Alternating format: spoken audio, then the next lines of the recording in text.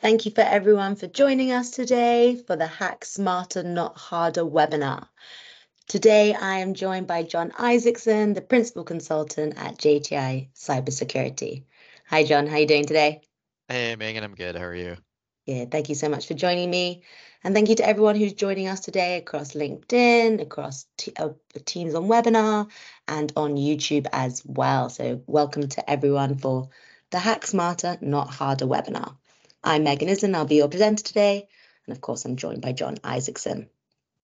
So Jon has a breadth of experience in cybersecurity, second to none, honestly, with 17 years of experience. And I'm so well, I'm so overjoyed to be um, speaking alongside him today, talking about how to hack ethically smarter, not harder, of course, using the KeepNet Labs platform. So today, Jon, as you know, we're going to be covering three main topics. It's the challenges of social engineering tests for pen testers, of course, how to actually hack smarter, not harder, and how to reduce time it takes to hack smarter, not harder, from days to minutes. So a few weeks ago, Jon and I sat down and we did discuss some of the challenges of pen testers. But Jon, I'd like to hear from you today what are your biggest challenges for social engineering tests as a pen tester? Um, so I the one of the biggest challenges we have, um, you know, like any business, we're trying to scale and build as much automation as possible so that we can kind of multiply our efforts and give our customers better results and give more customers better results.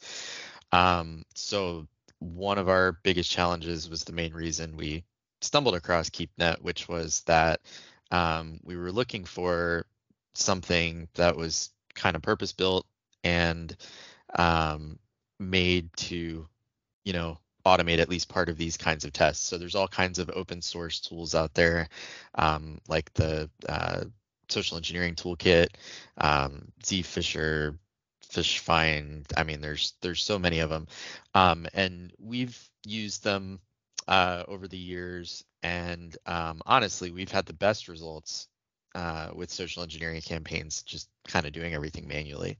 Um, and that's okay for you know certainly for for more targeted spear phishing attacks or social engineering engagements against a, a specific department or against a specific person um, but when we're doing a kind of a large scale test against an entire organization and we're kind of trying to you know almost simulate a uh, a focused spear phishing style attack, but against you know the whole company, um, you need you need something scalable and you need automation for that. So uh, we wanted to look for something uh, you know other than um, open source tools that we had to stand up and maintain infrastructure and all that ourselves. Um, but the the biggest problem for us is that if you if you go look for uh, social engineering or phishing or smishing tools, um, you know commercial tools you're going to find all of the sort of uh, like security awareness training tools. So you're going to find uh, Wizer and proofpoint and um, KnowBe4 and you know I everybody everybody everybody knows who they all are uh, in this industry. But um, the the problem with those tools and those tools are great if you're the internal IT department um, who uh, you know basically needs to put a tool in that syncs with Active Directory or Google, gets the entire employee directory. Uh, it's whitelisted or it's even you know doing direct mail delivery to Exchange uh, and and sending everybody these simulated phishing scenarios. Um, those tools are great for that. Those tools are not great for pen testers who have to simulate an outsider's perspective. So an outsider is not going to have the IT department that they can call up and say, hey, can you whitelist my IP addresses? And can I put headers in my messages so that you can make sure that they get delivered? Um, so, you know, we, we could do that. And uh, we've certainly had some penetration testing engagements where um, the customer wanted us to get creative and they said hey like we'll do whatever we have to do to make sure your stuff gets delivered. Um, you know we just kind of want to see what the effect is. Um, but that's not really a realistic perspective that you're giving the customer because they it's a bad guy's not going to have those those kind of you know comforts and conveniences. Um, so keepnet was the first platform that we found that could meet that use case where you're coming in as an outsider and you're not whitelisted um, so you're still going to get you know very high chance that you're going to get blocked or spammed or junked. Um, and then even if you get past the filtering then you've got to deal with the sandboxing and the url rewrite tools and all that stuff. Um, so keepnet was the first platform that we found that could um, handle that use case for us. And we were uh, we were really happy to find that it was also super flexible. So they have a lot of built-in uh, landing pages and um, you know kind of multi-step phishing and smishing scenarios. Um, but if for whatever reason, like we couldn't get one of their landing pages past um, Proofpoint URL defense, for example, um, we could stand up our own landing page and host it ourselves, and then configure their platform um, so that we could basically you know have them blast out the messages get through the the, the filtering uh, and then send people to our landing pages and still get reportable um, results that uh, you know at the end of the day came out on the other side uh, in a format that we could use to present to the customer so um, so it's uh, it's a unique uh, it's a unique solution for that for that use case. Um, you know, Keep KeepNet obviously does the the standard uh, security awareness training type stuff and you know the phishing simulation scenarios for the internal IT departments. And um, they're great for that use case too. And I think they're even better than a lot of the other solutions out there because like I said they are you know very very very flexible in the design and configuration of not only the messages themselves but you know landing pages URLs you can use custom domains. Um, so, uh, you know, great for that use case, but for us, it's unique. It's something that really doesn't exist out there on the market. So everything else, uh, you know, any any other campaign that we would try to do at scale, we we would either have to build our own automation or just have a lot of people to do a lot of manual work. Um, so I know I kind of rambled for a bit, but yeah. you know, in in short, in short, those are definitely the challenges that you know the main challenges for pen testers, which which also are why you know, like I said, why we uh, why we found you guys. No, it sounds like very common challenges that we're hearing across the board as well. So, you know, before using KeepNet, you're saying you had all these challenges, and hopefully now with KeepNet, you don't have as many. So now, Jon, now you've been using um, KeepNet's platform for a couple of months now. Um, how are you finding, you know, compared to the traditional um, workflows, you know, prior to using us? How do you how do you compare those? Like previously, how long were they taking? How easy is was it? So, uh, so I, I think I think we talked about this because I went back and looked at like how much time I actually spent working in the KeepNet platform for the first uh, engagement that we that we tried you guys out on, uh, and I think I spent a grand total of uh, six hours and change working in the platform.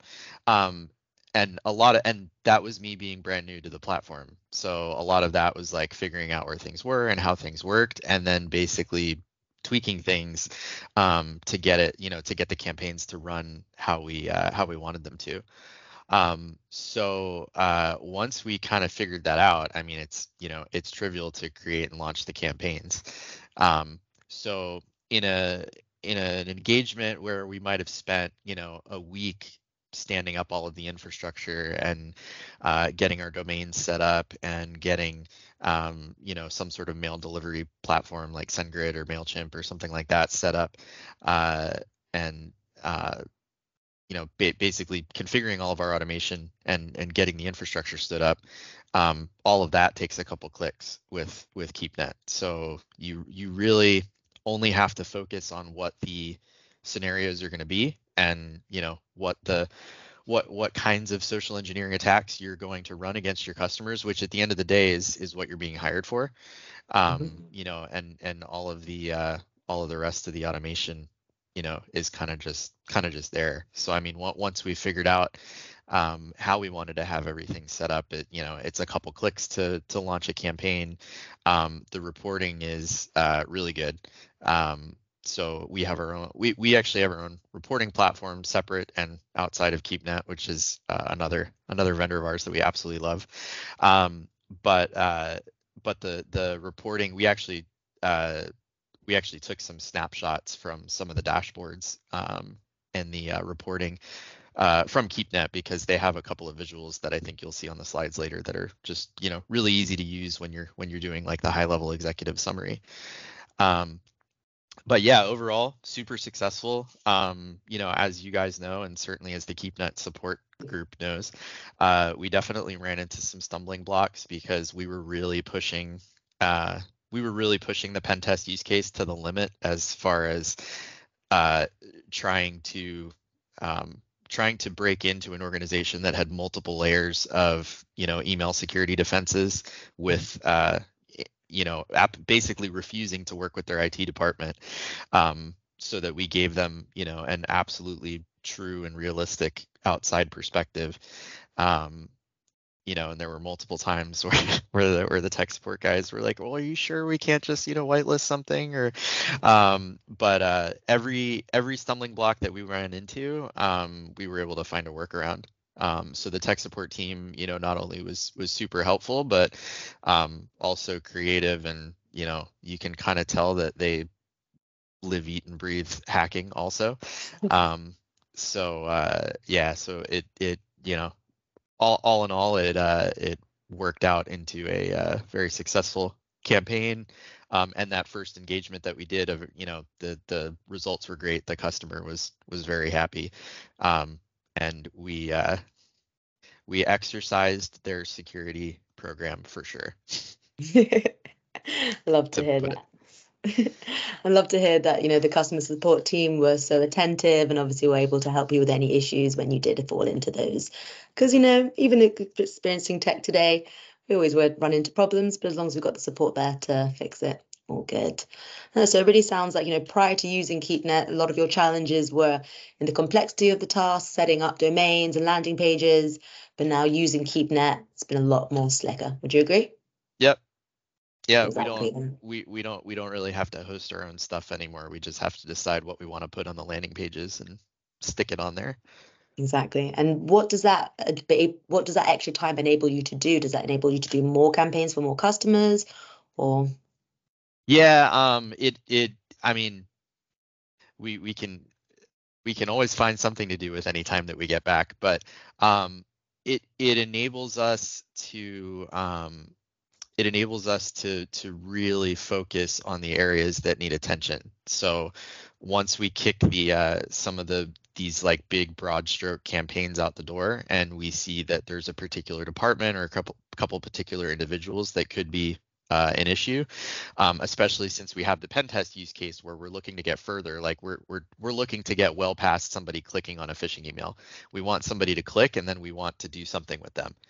Um, so uh, you know, so this gives us more time to actually uh, attempt to exploit and circumvent their security controls. So we're not just testing whether or not somebody's going to click on the link. We can spend time testing what happens when they click on the link. What kind of things can we execute in the customer's environment? How much privilege does the customer have uh, on their machine? You know, is the customer local admin? So whatever they clicked and downloaded and executed, is that going to get us into the rest of the organization? That kind of stuff. Um, we can, you know, we can we can focus on finding where all of the all of the risk is past the past the human.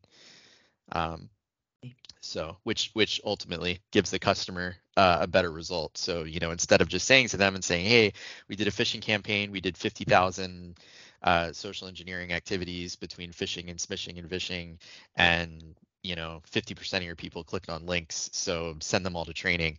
Um, we can give them that and then we can say and by the way they clicked on links uh, we crafted some interesting landing pages we captured their credentials and we got something you know past Sentinel One and we got something past Proofpoint. And by the way, you should make these configuration changes to prevent that from happening in the future. So um, a lot of added value that we can provide to the client with, you know, time that we're not spending uh, automating the, the phishing campaigns. Indeed. And when we've spoken previously as well, you've mentioned about how the reporting analysis actually takes quite a lot of time. How does the reporting analysis that KeepNet provides enable you to create your reports faster, if it does? Um, yeah, so so reporting on social engineering is particularly challenging. I mean, reporting for pen testing in general is is pretty challenging, and there are definitely great tools out there, um, you know, that can help uh, sort of take your um, results from all your different tooling and log sources and things and consolidate them into useful findings. Um, but it's a lot harder to do that with social engineering because it's not like you have it's not like you have an action log uh, like you would for like a network penetration test. So you certainly know like uh, how many emails you sent, how many text messages you sent, how many people did this and that and the other thing.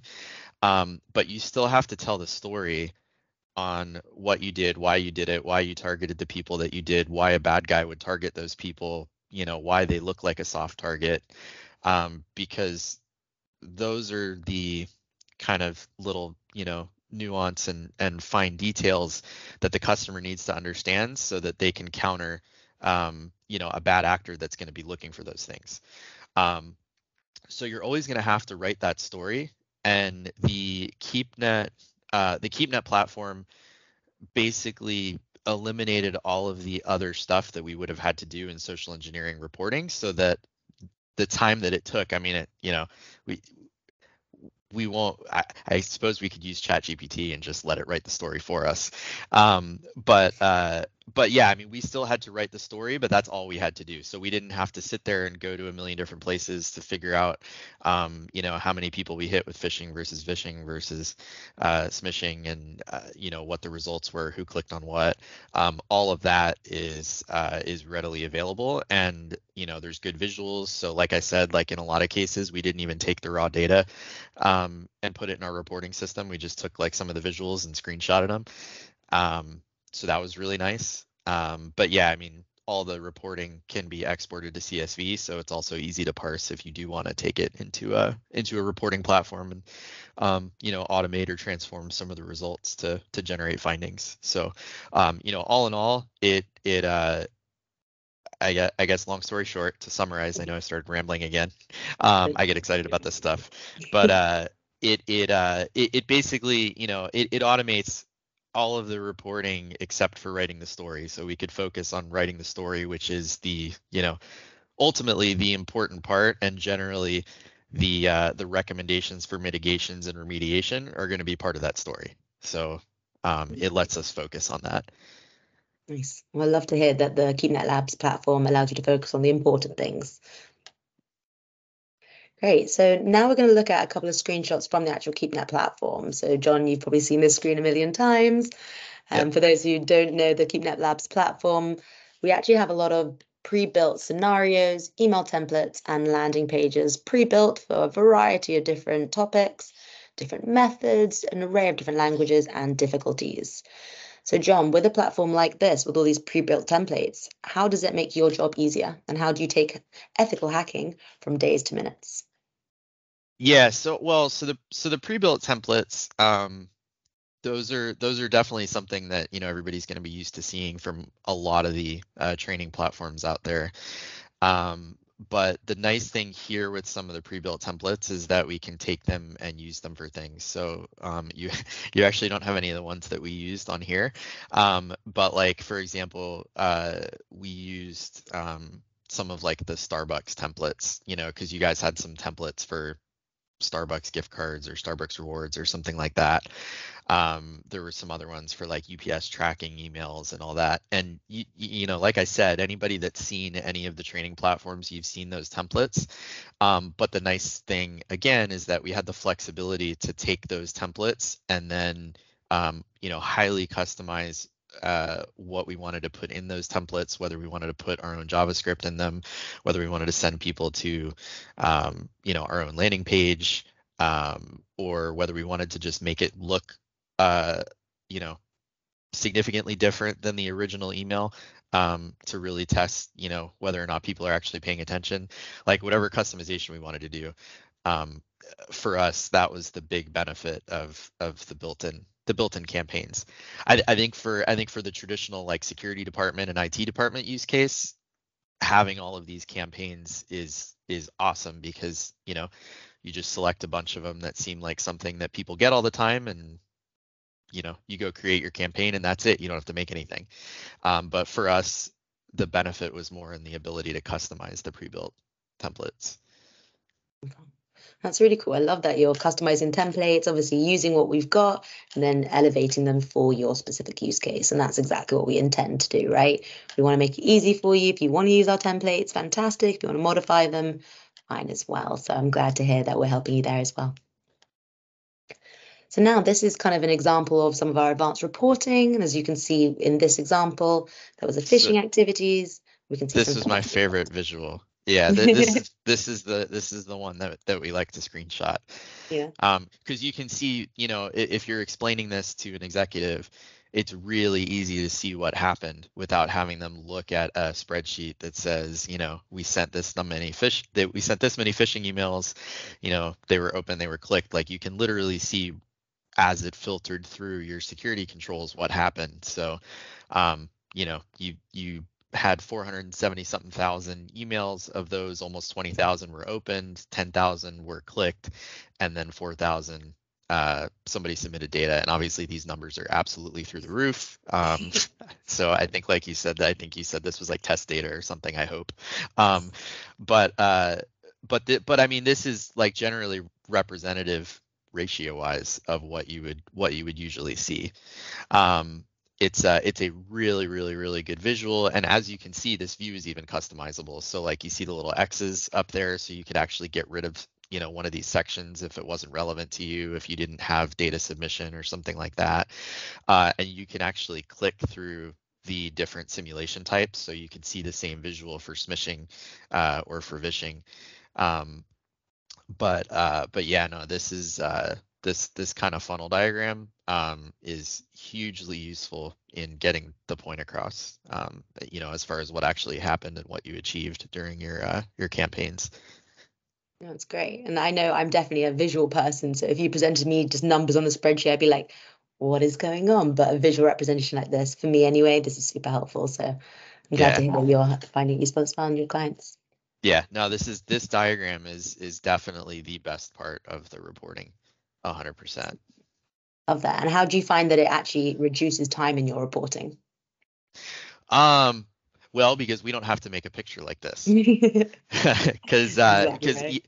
yeah, I mean, nor, you know, nor, normally, like, we could certainly use Excel or Google Analytics or something like that to like take the data from the CSVs and put it together. But then we'd have to think about well what do we actually want to show the customer? How do we want to present it?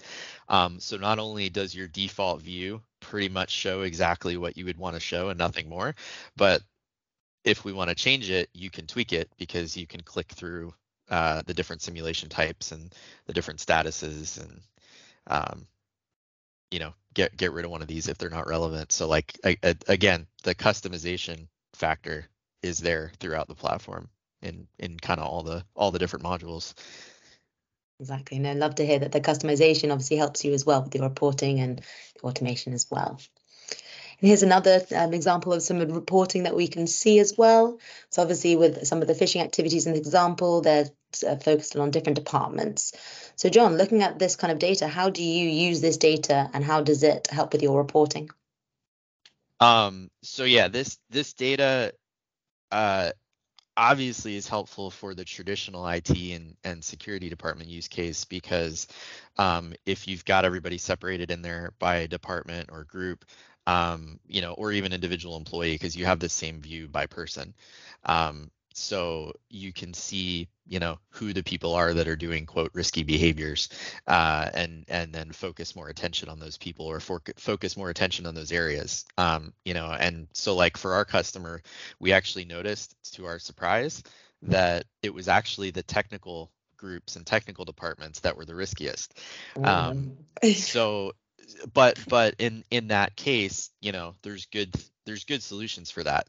So we can implement role specific training um, to try to explain to the developers like, hey, listen, you guys have access to more sensitive stuff than most people, so you need to also consider X, Y, Z. Um, so uh, so it's it's it's really helpful, you know, for assisting people with the uh, putting the right mitigations in place in the right areas. Um, for us, for the pen testing use case, this kind of has a second uh, purpose, which is this helps us figure out who to target for the next campaign. Mm-hmm. So if we're if we're doing multiple campaigns to try to break through the organization's defenses, um, you know, we can send out some broad strokes and shoot everybody a bunch of UPS tracking and Starbucks emails and all that stuff, and see who's likely to you know click on them. Uh, and then once we figure out who the risky people are, then we can focus the next campaign on them, so we don't have to keep blasting things to the whole company. Uh, and then you know we kind of go from there and drill down until we find the people that we you know that we might just want to pick up the phone and call them. Um, so um, so this this definitely helps us uh, get further to actual exploitation of the uh, of the technical controls because we can figure out quickly who the risky people are. And that's the aim of the game, right? You want to find out as soon as possible who those are that are exhibiting the risky behaviors and address it as soon as possible, right? So it's great to see that the KeepNet Labs, again, the platform can help you do that. So I just want to thank everyone for joining us today and thank you specifically to Jon for speaking with me today. Really appreciate everything. Thank you to everyone who is joining us today on Teams, on LinkedIn, on YouTube. Appreciate everybody joining us today. Please follow us on LinkedIn. And if you're interested in learning more about the platform and speaking to our team, please scan one of the QR codes. Again, Jon, thank you so much for joining me today. It's been an absolute pleasure. Thank you. Yep. No, it's good to be here. And I hope those aren't generated by the KeepNet platform because they might have something in them. If not, you never know.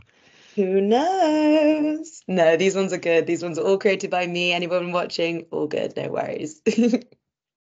cool. Thanks so much again, Jon. Have a lovely day. Yeah, you too.